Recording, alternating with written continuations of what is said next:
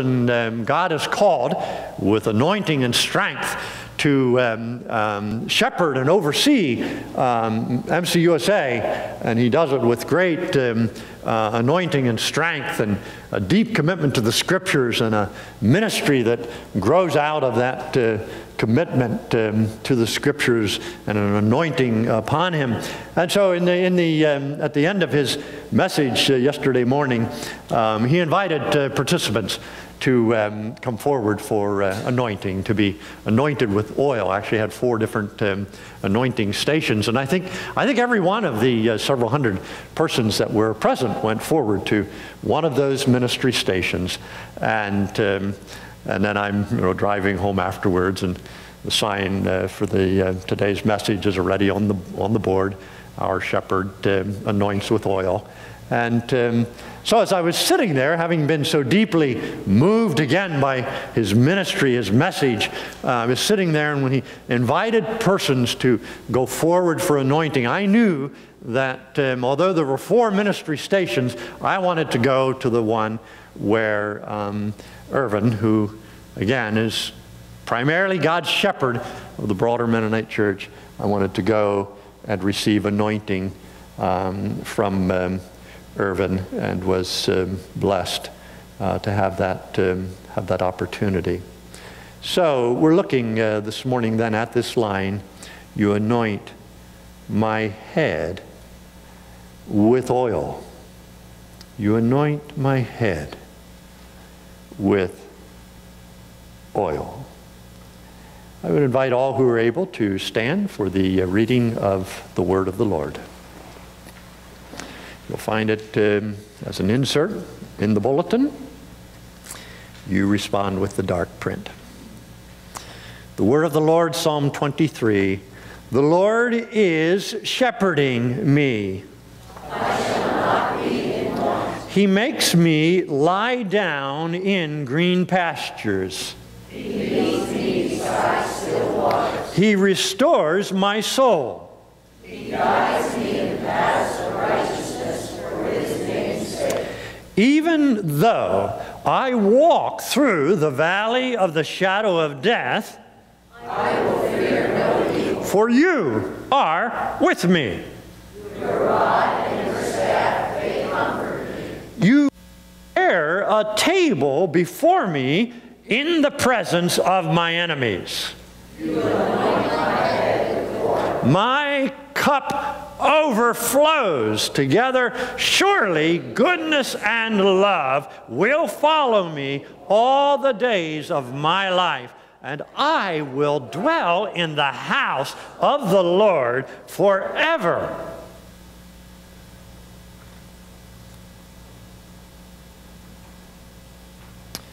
Brothers and sisters, the word of the Lord. You may be seated. We've um, been um, throughout this series um, referencing back to the life of David just as a way of being certain that the imagery that's here in the psalm, which is so familiar to us, being certain that we hear it out of a real life context, a real life kind of choosing of faith to believe in this good shepherd. And we know that David was a shepherd boy before he was called to be king, before he was anointed to be um, king of Israel. And as we recognized, um, particularly in the first message, a walkthrough of David's life, there were many, many things that he did well.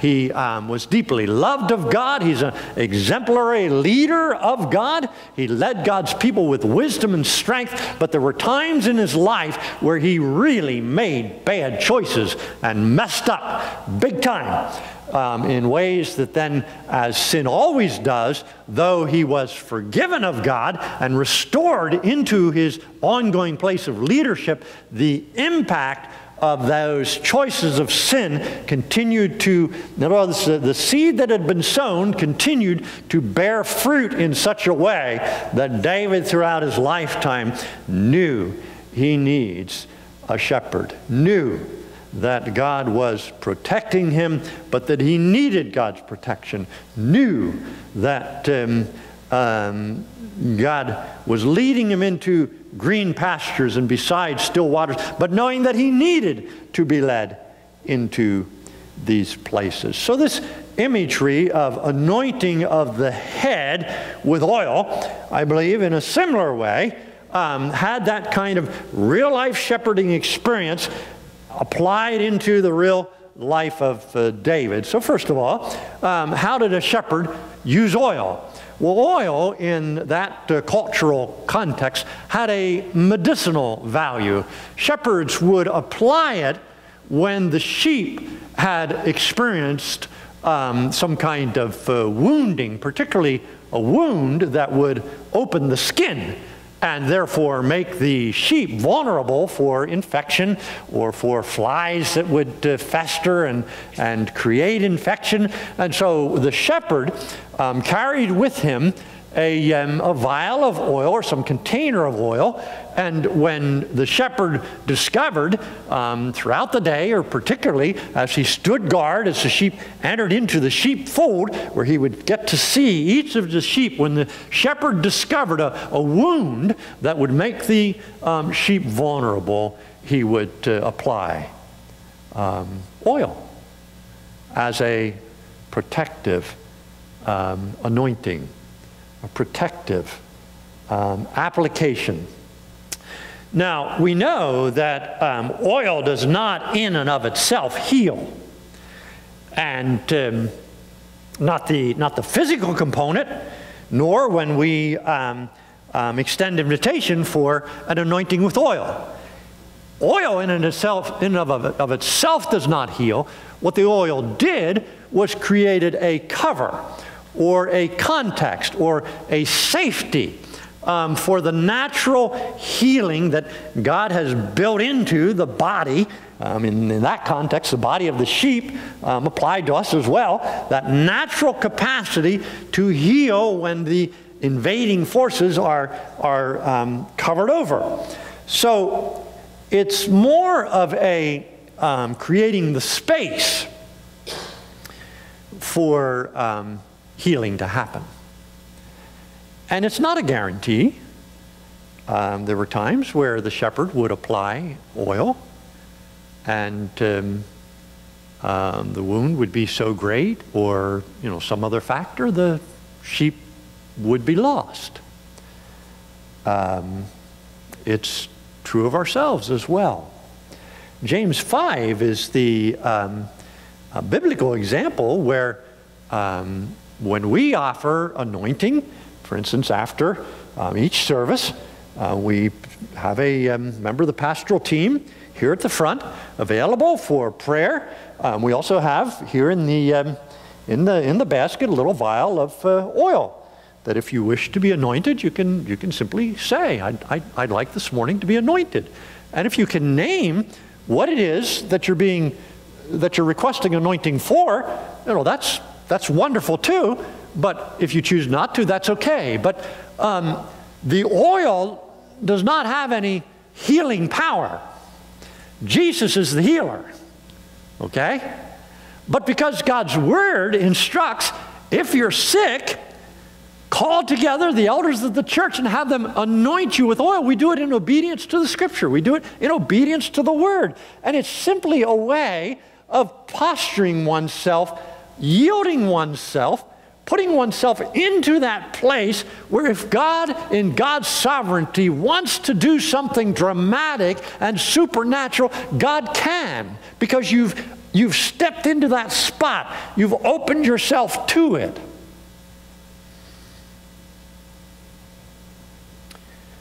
Um, there are multiple examples of people whose healing ended up being different than what they would have wished for.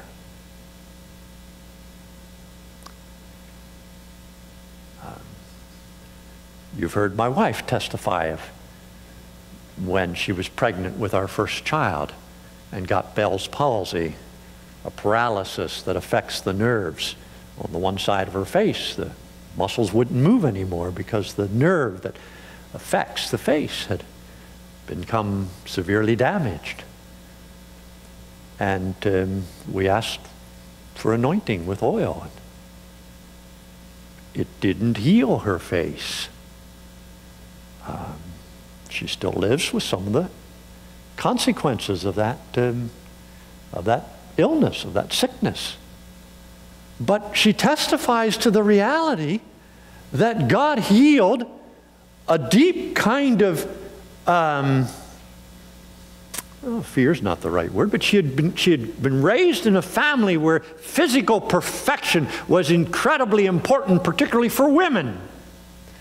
And so there needed to be a healing, giving her courage to live with strength when the body was no longer fully functional. And I loved her immensely before, but I love her even more deeply as I've watched her with strength live through and way beyond being in front of masses of people in times, not worrying about the way the tongue needs to now more consciously form words, not worrying about the partial paralysis yet on that side of the face, but speaking and glowing and radiating in confidence so that the Holy Spirit brought about a healing deep in the soul, giving courage and strength. And there would be multitudes of other kinds of stories where God's healing was not in the way that we would wish. I have no doubt, really no doubt, that um, when um, Gloria and Gloria's family are reunited with uh, Dan and Glory, um, hopefully for them, not for decades yet, but I have no doubt that when they're reconnected with Dan, Dan is going to say, you know what? The great span of eternity, it was okay. That um, my life was cut short by the way we define life. And when that electric shock went through him, that um, it took his life.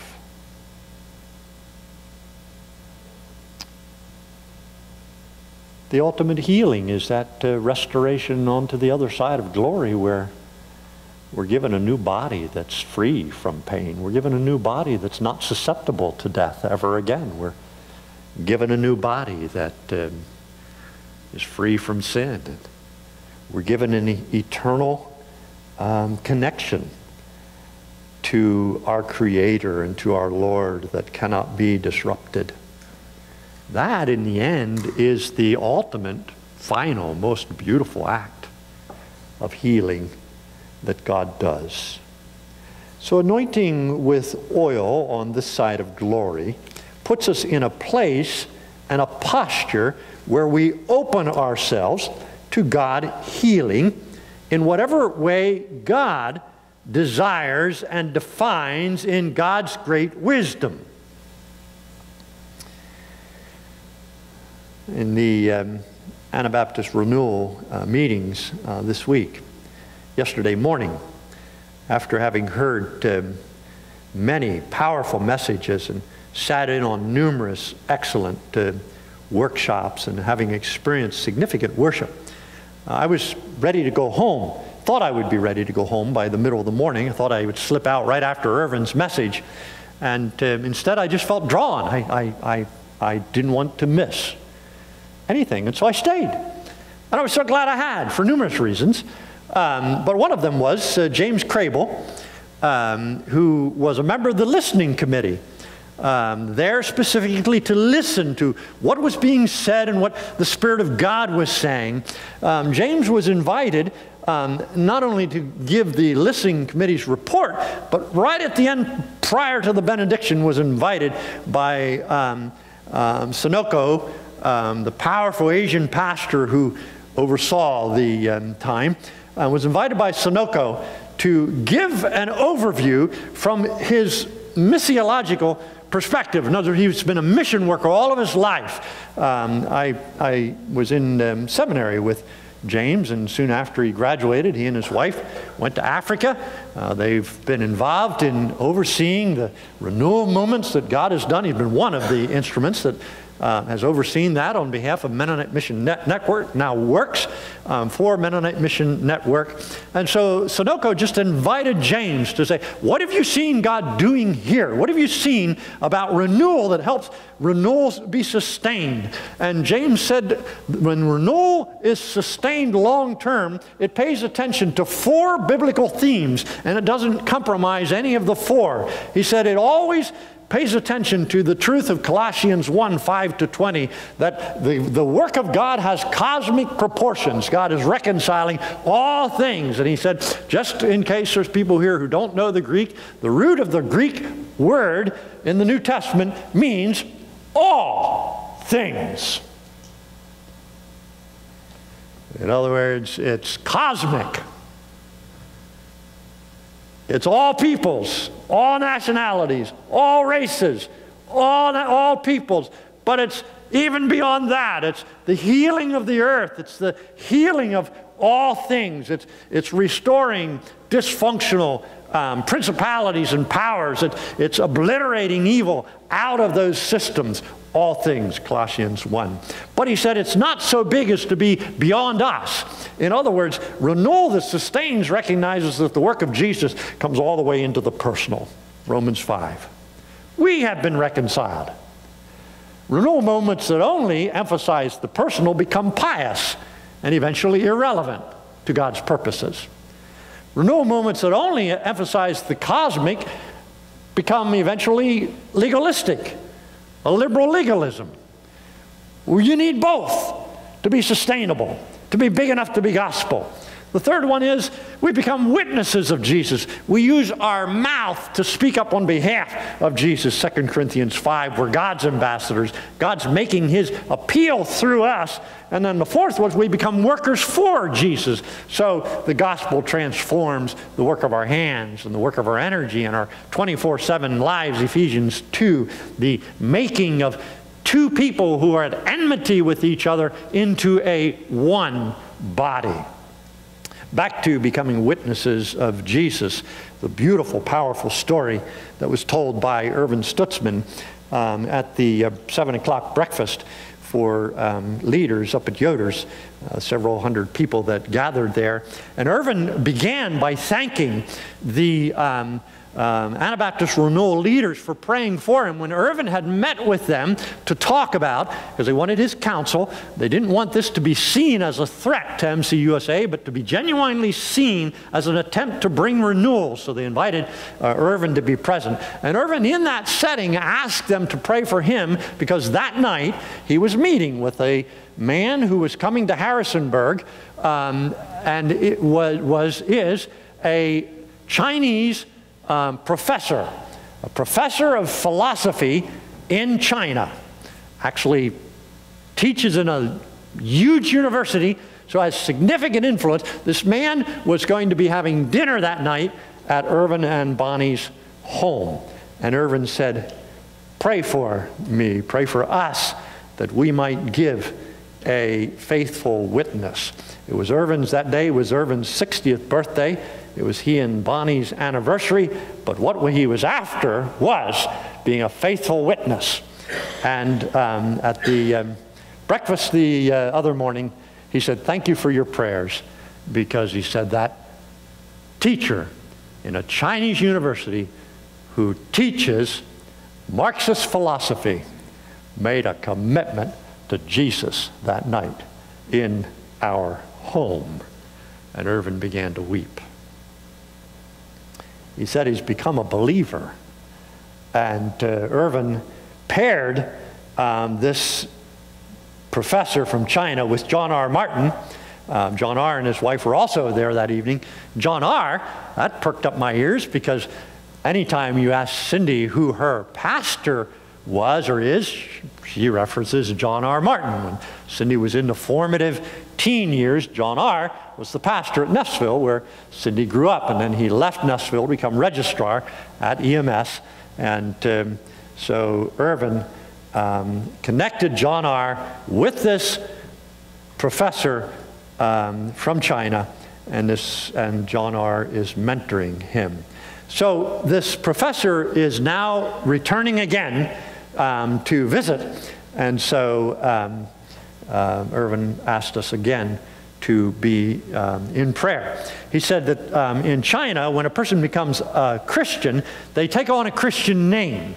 And so this man had asked Ervin, would Ervin give him, give him a biblical name? And so Ervin made it a matter of prayer, and the next day gave a number of options, and the man chose Joseph as his biblical name. So if you pray for this man, pray for Joseph.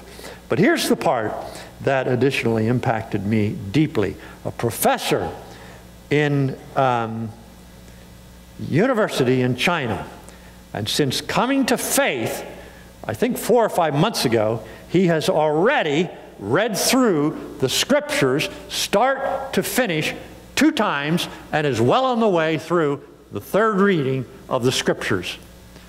He spends two to three hours a day immersed in the scriptures. And Ervin said the man's life has been transformed by witnessing for Jesus.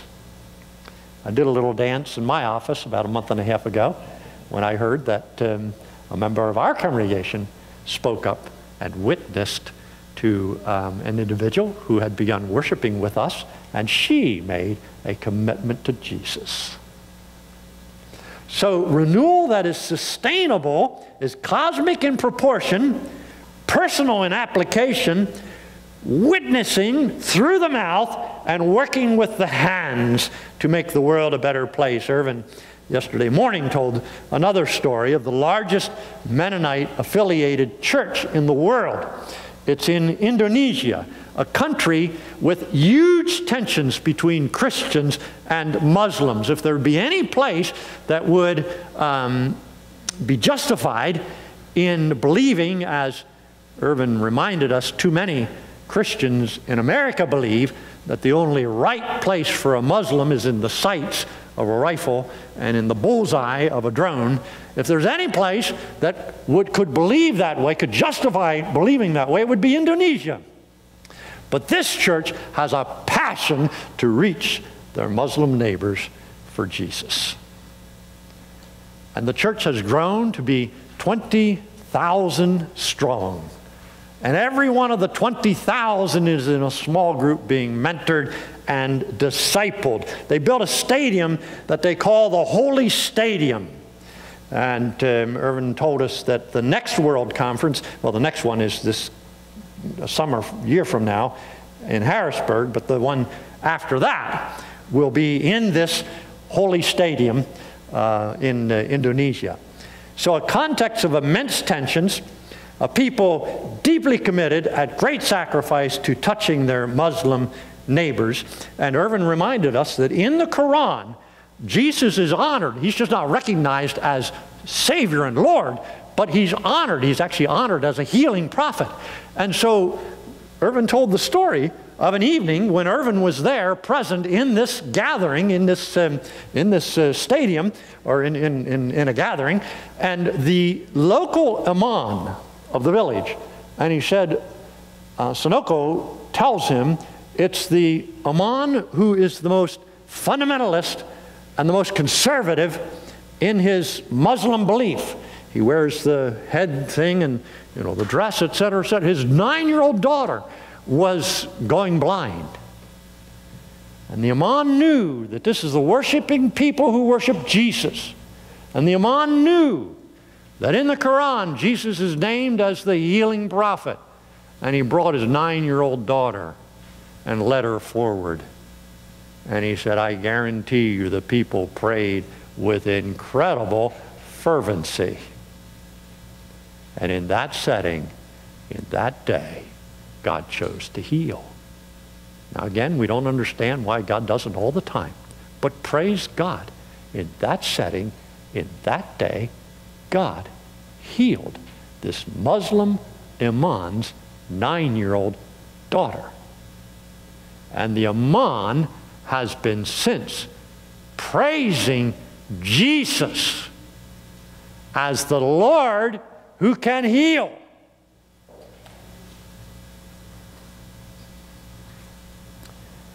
Now, why did I tell that story in the point of becoming workers for Jesus? Well, here's two reasons. Two ways that they are expressing the love of Jesus in addition to witnessing. They've turned that holy stadium during the week into a marketplace because they discovered that many of the Muslim farmers can barely eke out a subsistence raising rice because the rice that they were selling, they'd get pennies on the dollar selling it to a middleman. They'd get several cents of what that rice would be worth if, say, the rice would be worth a dollar, they'd get several cents selling it to the middleman, and the middleman would get all the profits. And these subsistence farmers eking out a living could barely support their families. And so they began, they opened up their holy stadium as a marketplace, and these Muslim farmers bring their rice, and they get a dollar on a dollar.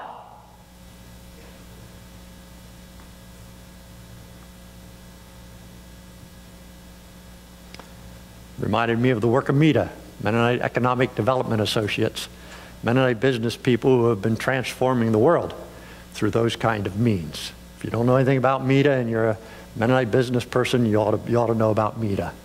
They're transforming um, cultures through similar kind of means in the name of Jesus. The other thing this um, largest Mennonite affiliated church in Indonesia has done. They've started a school. The overwhelming majority of the students are Muslim. The parents sign a permission that in that school, Jesus will be testified to. 400 students. And I thought of uh, the Hebron School that Ada and Ida from our congregation began how many decades ago in Hebron, Israel, a highly politicized uh, Muslim town. It is unapologetically yet today a school that is known to be Christian, testifies of the love of Jesus, and is defended by the power forces, the Muslim power people in that town because they know that there's integrity to the hands of the work and the transforming of the minds of the students such that they're open to the witness of Jesus.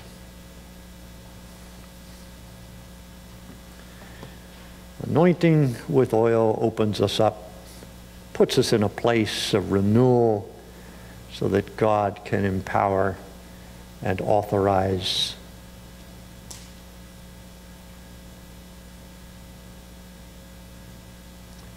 It's just a simple gesture.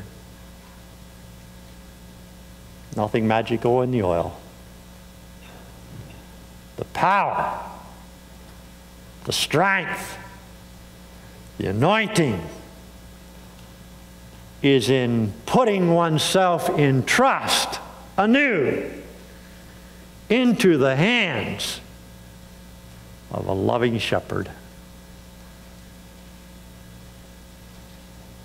Redeeming Jesus. So, I'm grateful we offer prayer and anointing. I think today it's Rod and Heidi who represent the pastoral team. You don't have to have any great significant needs other than wanting to put yourself in a place where if God wants to do something new, you're giving God permission.